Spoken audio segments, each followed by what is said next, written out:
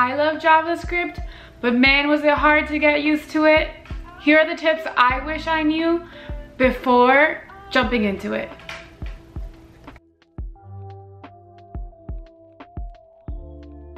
Hey guys, welcome back to my channel. Today I want to talk about JavaScript. I'm sure you've heard about it and I'm sure you've tried to learn it or you're in the process of learning it. But today I want to give you tips that I learned over a course of two years that I wish somebody had told me way before. But before we get into it, I want to, uh, if you're new here, I want to introduce myself. My name is Paola. People call me Poli, that's why it's Poli Guitian. Channel is trying to help software engineers like me uh, make it easier to make it into this world because it's hard. So make sure to like and subscribe and let's get into it. I feel like JavaScript is advertised as a quick language to get up and start with and it's really easy to understand and it is. But there's a huge misunderstanding that I was forced to find out the wrong way. I mean the wrong way, the long way. Um, when I started it was super easy to pick up. I, I like picked it up in like a week or two, but I didn't know what was coming for me. While I was learning it and started to code and started to do front-end apps, um, I started finding that a lot of my code was like erroring out. Like it was always like, I would type some code, it would work, and then five minutes later I would put something else and it would get an error of undefined or some other red error that I don't even remember or not, I don't know. It really felt like that scene from SpongeBob. That's exactly how I felt. And I feel like somebody should have told me I should have learned it better instead of just being like, oh yeah, it's super easy. Like just learn the, the data structures and the constants and you're good to go and you're fine, right? No. Mm-mm, don't get tricked into it. Let me tell you. Tip number one, once you finish learning the basics, so the if statements, the variables such as const, let, var, um, objects, that's all the data structure. So once you get all that and understand how that works, do not stop there. Don't be like, oh, easy, I got it. No, no, no, don't do that. Make sure you understand how it works, okay? Because JavaScript is all about knowing how it works under the hood. Okay, do I need to say that again? It's all about knowing how it works under the hood. With JavaScript, you have things like what the difference is between let, var, and const. Really know what the difference is. Know their hoistings, know their scopes, know why you would use one or the other. Um, know what, how, what's a, what's a prototype in an object and why would you use it. Um, why they're passed by reference. What does that mean, passed by reference? Um, everything is an object. I remember hearing that all the time when I started. I was like, what do you mean everything is an object? A function doesn't look like an object to me. It's Closures, closures were hard too. All these things, they're like small little, like small little things that you kind of like pass over when you're learning JavaScript and you're like, oh, I, I can wing it. I don't really need to know. You do. I'm telling you, you do. And if somebody wants to tell me that I'm wrong, whatever, okay.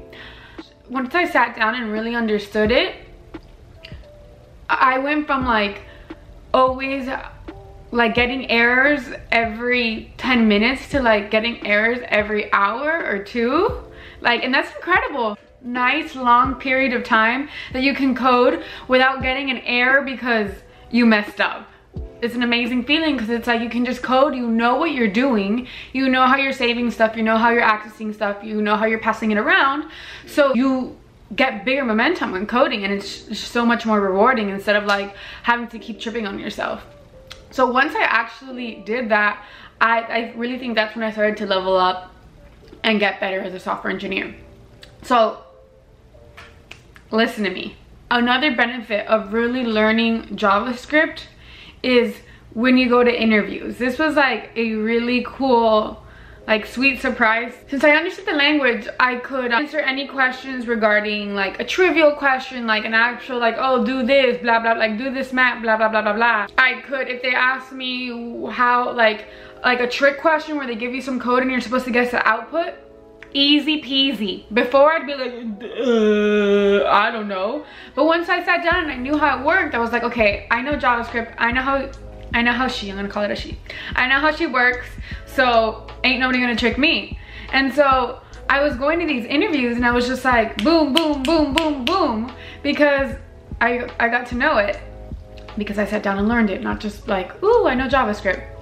Another pro of really understanding how JavaScript works is that you can switch to anything. So once you really understand JavaScript, you can go to Node, you can go to React, you can do, uh, uh, you can do Vue, all anything that involves JavaScript, which is a very beautiful world of lots of JavaScript things.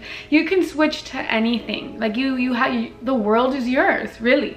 And all you have to do is really get to know, really get to know her. She's like a Sour Patch. She's sour, but once you get to understand it, she's really sweet. Okay, now that I've compared JavaScript to a Sour Patch and told you how it could be why it's sour then sweet and what you can do to get it sweet first, I want to share with you the, the resources that I found after a long period of time that helped me get to where I am. Because I'm not gonna about I'm not about to just tell you guys to learn it and not be like this is what helped me because this is what I'm here for. I'm really trying to help you guys.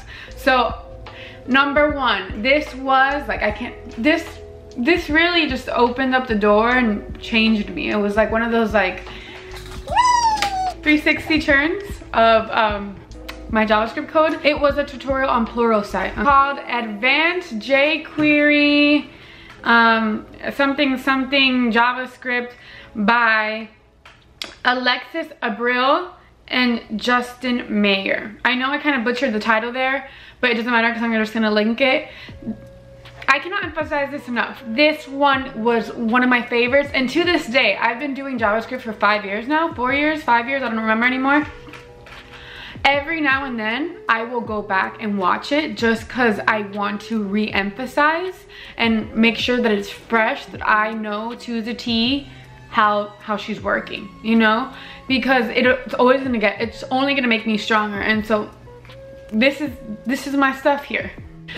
Just skip the jQuery part and start right after the start right after that and that's that's where the meat and potatoes of it is and honestly i you could do it in two days the quick tutorial it's okay so tutorial number two or resource number two really anything kyle simpson it's like it's like Disney World. Anytime you see something that has like Disney World, I'm from I'm from Florida, so I call things Disney World, not Disneyland.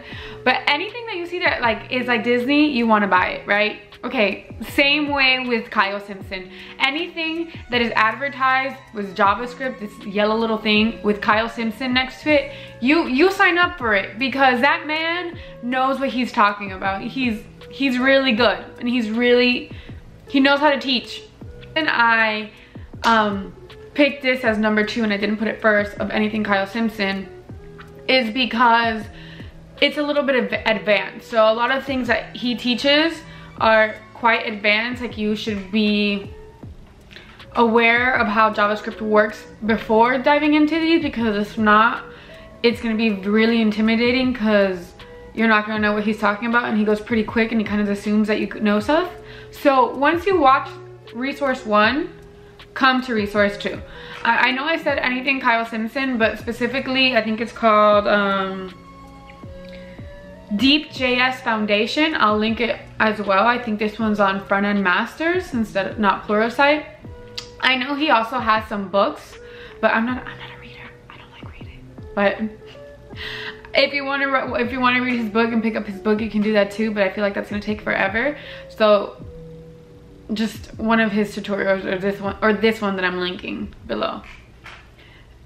My last tip is when you are coding in JavaScript and you are trying to write something, like you're trying to call a function on an object, or you're trying to manipulate the data, or you're trying to render something, I remember when I was starting off for a long time, I would always kind of Google what I wanted to do or Google keywords and I would always look at Stack Overflow. Stack Overflow was my best friend. But then I realized that ain't my best friend, especially when it comes to JavaScript. Your best friend when it comes to JavaScript is the Mozilla docs, okay? I know it's like, oh, they're so like, un like you might think that they're not helpful. They really are, okay? They go, let's say you wanna call a function on a string, right? You're trying to, I don't know, remove some letters, right? We are not super memorizing people and you don't need to. So you just go to the Mozilla docs, you go under the string tab and you look at all the functions that JavaScript will give you on strings. And it will explain to it to you little by little. And it's not only with strings, it's with objects, it's with HTTP, HTTP, HTTP codes, and there's so much on it. And I wish I knew starting earlier to kind of be a little bit more patient instead of like trying to find the first answer in Stack Overflow and just doing it. Like going to the docs and really finding and engineering my solution through the docs rather than something that I found on Stack Overflow really made the difference because I started to know how like how to use my tools properly. So I'm telling you, take a moment, look at, try to find what you're trying to do on, Mozilla, on the Mozilla JavaScript docs. Look at the function names, look at the objects, try, go search and and find and read and read patiently and not don't don't go straight to trying to find an answer. Really try to understand it because this was also another great tool that I wish I knew before. That's it. That's all that I can provide up to now on tips that I learned that I wish again that I wish that I knew starting off. Um, it's a quick video. I'm not going to teach you JavaScript. There's too much out there for me to add more content on that. I, I really want to provide things that can help you that I wish I did. If you like this video or if you like JavaScript or if you like me, if you want to keep on watching videos, make sure to like this video and give it a thumbs up. And if you have any questions, if you have any tutorials that have helped you, please share it so that other people can also uh, learn from that or I can even learn from it. And me and my beautiful JavaScript will be back next time with more videos. Bye. But, but, but, I don't know where I'm gonna put this in the video, but I'm trying to give you guys tips on what am I doing? Ah! Tripping over myself with my JavaScript. Oh man.